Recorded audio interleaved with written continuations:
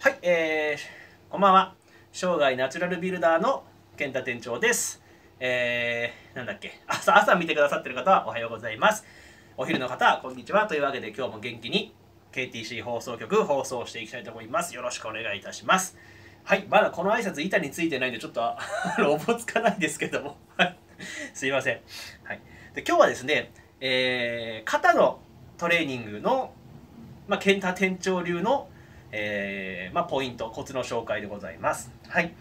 で、えっとですね、まあ、昨日の動画で、えー、ちょっと紹介したんですけども、まあ、昨日は二頭筋メインの動画だったんですけど、あの、スローホールド、あまあ、僕が一番心がけてるトレーニング法なんですけども、まあ、あのゆっくりね、しっかり対象筋を意識して、えー、重さを持ち上げて、で、一番収縮するとこでグッと、えー、ホールドしてあげると。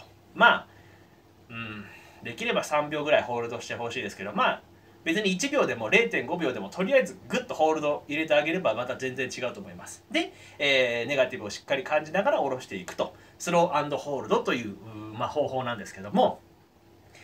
えっ、ー、と僕は肩もですねそれを入れてます。スローホールド。はい。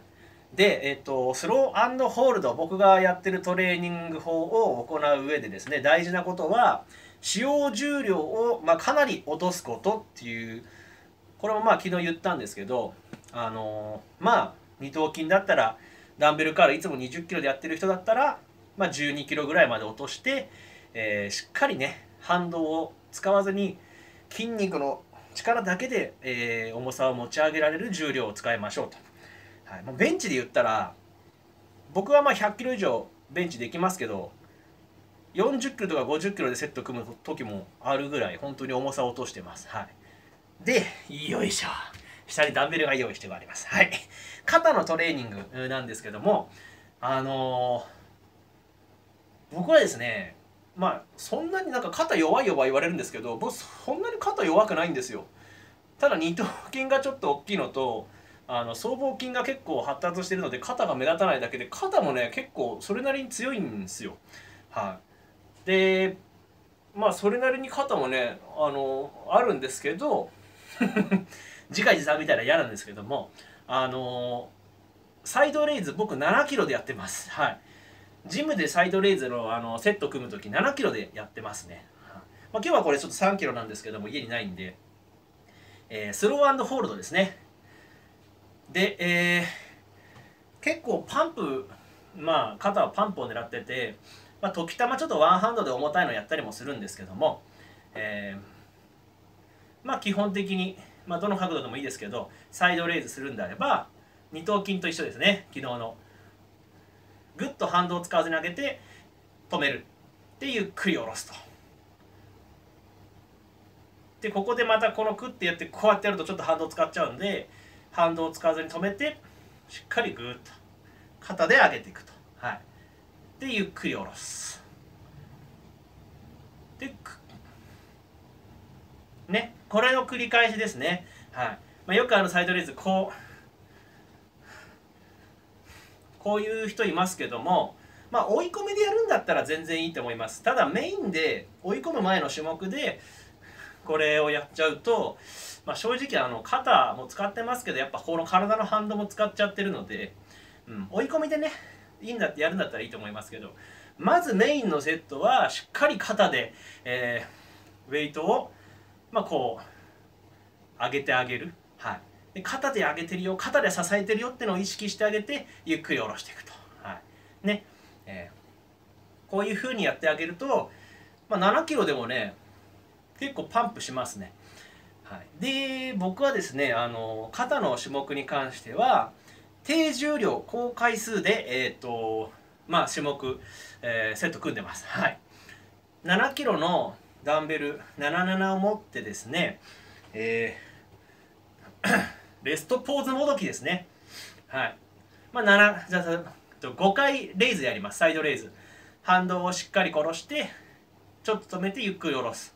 反動を殺してゆっくり下ろす。を5回やったらぐっと肩に力を入れて、えーと、5秒間止めます。はい。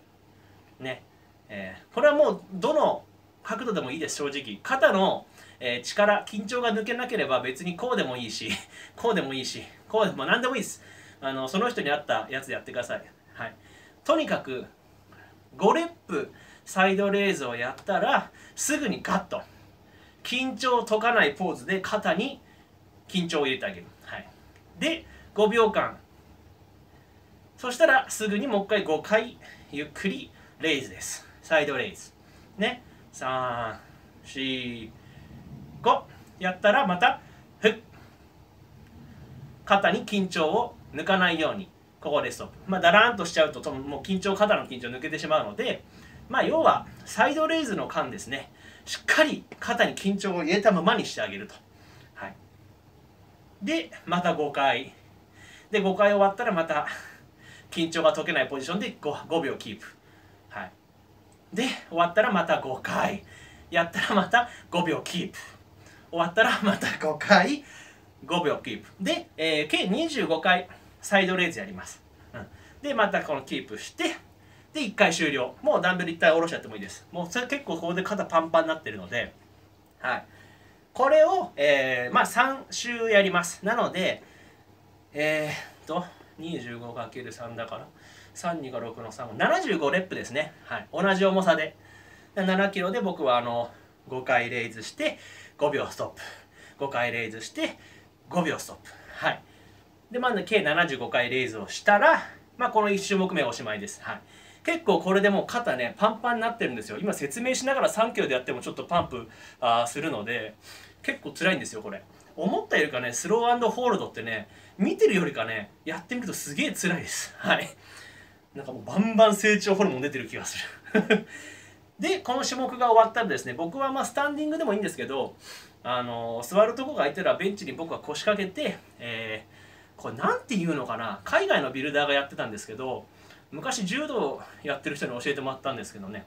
まあ7キロでそのまま、えー、グッとレイズのこの終わったポジションに止めて左右ずつ1 2 3 4 5 1 2 3 4 5で次1 2 3 4 1 2 3 4で次1 ごめん早いからね。3 1 2 3 1 2 1 2 1 1で10回もうチーティング使ってもいい。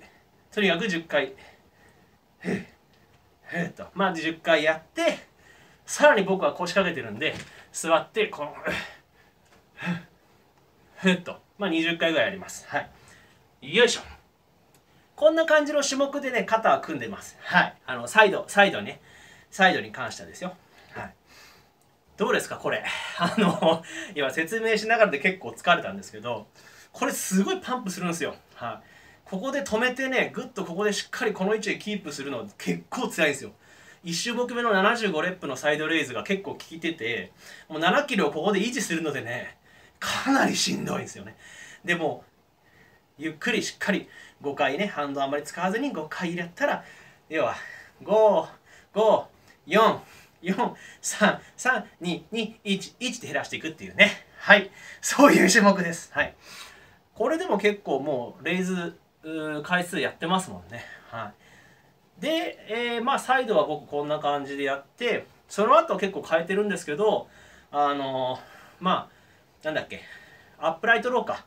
僕アップライトロー結構好きなんでまあイージーバーとか、まあ、ストレートバーはなんかなんかあんまりアップライトローで使うのちょっとジムのストレートバーが人気なんで僕はイージーバーでまあアップライトロー。これもアップライトローも止めてゆっくり下ろす。止めてゆっくり下ろすっていうちょっと方法で、えー、やってます。その代わり重さはそんなに使ってないですね。40キロぐらい。はい、うん、であとまあプレスやって、はい、でリアデルトペックフライでまあこうペックフライでやって、えー、てな感じですね。はい。まあ、他にもいろんな種目やってますけど基本的なね肩のトレーニングはそんな感じです。もう本当に回数狙いで低重量、うん、でパンプさせてっていう感じですね。はい。でこれ結構僕あのベンチあの胸の日次背中の日その次の日肩なんで結構ねもうすでに肩が結構辛いんですよね。はい。ね。というわけで、えー、まあ肩のトレーニングもスローホールドを入れてあげてで、まあ、低重量で高回数やってあげると結構あの肩パンプしますよっていうね。はい。パンプしてますかね。まだちょっとデブなんでね全然あれなんですけど結構肩もねあの本当低重量でも大きくなるので、うん、まあでたまに重たいワンハンドレイズとかやってあげて違う刺激を入れてあげてっていうはい。ってな感じでございます。ちょっとトレーニング法紹介してくれってことだったんで、えー、いろいろやってますけどもどうでしょうか？というわけで KTC 放送局の健太店長でした。さよなら。